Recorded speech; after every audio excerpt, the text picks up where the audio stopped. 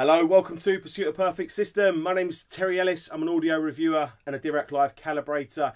In this video, which is really the second song demonstration video for the several bits of kit that I've got in for review all at once. They are the German Physiks Unlimited 2 speakers, the Audio Analogue Maestro integrated amplifier. We've got some HRS isolation products as well. So I'm kind of reviewing this whole system. Again, German Physiks Unlimited 2 speakers, which work with some sort of wizardry, some sort of, it is genuine wizardry for this DDD omnidirectional driver. How that works, it works in three different ways. It, it pulses, it quivers, and it does a bit of this. You can't see any of it, but it just sounds so sweet, so coherent, so fast, so detailed, so smooth. All of that, all from the treble right down into your upper bass. How the bloody hell does it do that? And then they get for monstrous amounts of bass out of an 8 inch driver all the way down to 20 hertz in room. Usable big 20 hertz bass in room. And then we've got the Audio Analogue Maestro amplifier. It's a huge, great big physical amplifier, akin of the, the old Krell amplifiers of back in the day. To me, I love that. I think that's absolutely phenomenal. And they've done it big on purpose to give it all the space. They can lay things out properly. It's kind of like a design first, a quality audio product first. It needs to be this big in order to achieve it. And it's beautiful inside. I've seen all the photos of the inside. I'm hoping I get permission to take the lid off and show the internals. That's what I'm hoping. So other than that, it's different to normal. We're using HRS based isolation products combined with our usual Ceradisc uh, products from Plinth Design. So you can kind of see them behind me. This is the interesting one. This massive, great big HRS isolation product slap bang on top of the Chord Electronics Qutest, which looks pathetic underneath it. So that's what's really interesting about this song demonstration, is we're using our usual setup, uh, music audio PC with JPLAY, Femto and JCat products, linking via the Chord Electronics Hugo M Scaler. That's that's a stable now. This is mine, I've bought it. It's because it's amazing. It's amazing. Since I've had that, I've listened to more music than I have in the last, probably more music in, in days than I have in years. It's it's just an amazing thing. So that's staying, that's staple. And At the moment, it's feeding into the Qutest DAC. Now, obviously, it's feeding via wave high fidelity stream digital cables, like dual cables, so that we've got the full upscaling capability of the Hugo M scaler. And that puts the Qutest in what I'm calling beast mode because it sounds like a beast of a DAC like that. We're using this, this included switching power supply. I'm hoping in the future to get a, a, specific linear power supply just to try it out, just for my own personal testing purposes. Again, just to see you know, does a linear power supply make a difference. That's going to be a really interesting one to do. So, you know, I started off with the Qutest months and months and months ago. The Qutest has just won loads of awards, isn't it, across the press. And when you hear it sounding this good, you can understand why. But that's just in normal mode. None of, I doubt any of those reviewers have heard it in beast mode because in beast mode it's, it's oh it's unbelievable it's unbelievable in fact so yeah so said, remember you heard about here first. I was singing the praises of it months and months and months ago with a linear power supply. So I want to try that again just for my own personal interest. So from there, obviously we're feeding via Tellurium Q Black Diamond single-ended analog cables that feed kind of down the front here to the uh, analog, uh, Audio Analogue amplifier and we're feeding uh, speaker cables. We're using our Tellurium Q Silver Diamond. We're using a statement power cable that you can see sexily run up here because it's so stiff to power the amplifier and everything else is the same as always. So I've used, I've chosen this song to demonstrate because it's an audiophile classic. Everybody's got it and everybody's heard it to death. But I doubt many people have heard it sound like this. It's Dave Brubeck, take five. Come back after.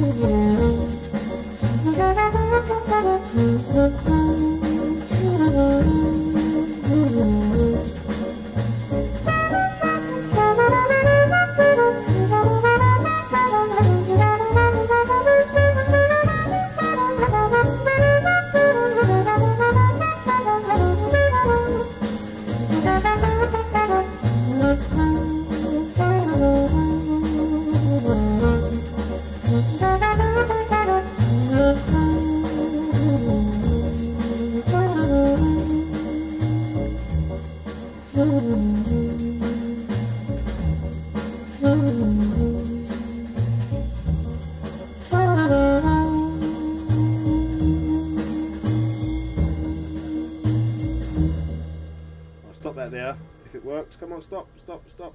Right, what did you think about that? That was a real interesting experience. Now that is loud, really, really loud. I did it loud on purpose because this driver is phenomenal at, at creating kind of a, as I say, it's a life-like experience in terms of. It's not, you know, real life's always got just more energy and stuff. But in order to create a lifelike experience, things need to be big and bold and energetic and loud. It needs to be full of emotion. And emotion doesn't necessarily come from volume, but it, it comes from kind of transient clarity and transient clarity the bits that stand out, it's the bit that grab our ear. And there's a lot of that in that Dave Brubeck Take 5. You've got, you know, the, obviously the drums over here. And funny enough, that drum kind of highlights one potential one I'd say it's a potential kind of chink in the armor of the speaker. I'll talk about that in a second. But you've got the really fantastic, speedy cymbal work, which is so crystal clear off these speakers. The soundstage is absolutely massive. The band plays together. It's big. It's bold. Um, and what what a contrast to the last song, which is really kind of relaxed and subtle. What a contrast! And that to me is such an important factor of an audio system. You need to have contrast. Not every bit of music's made the same, and the bit that keeps it interesting and enjoyable is it being different. Now, whether you play different music for your different moods or whatever, I just when something I'm gonna the next one's gonna be different again on purpose to demonstrate different attributes. So the first track was all about character and soul and kind of reminiscing old days. This is an energetic piece, isn't it? It's a dynamic, energetic piece with loads of detail, and with but with again with good soundstage bits over here, bits certainly over there, the piano and stuff over there. I think that rendition is absolutely phenomenal.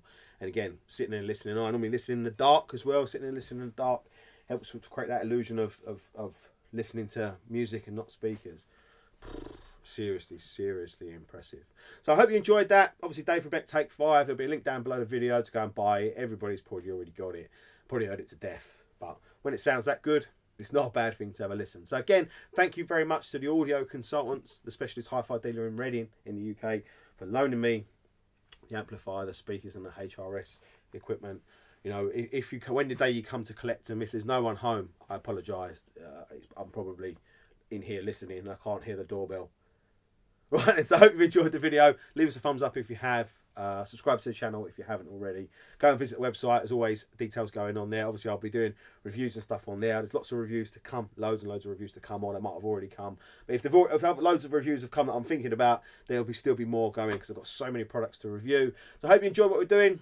It's belated, probably, time you see this, but Merry Christmas. It's the 22nd of December today when I'm filming, and I'll see you soon. Take care. Thanks for watching.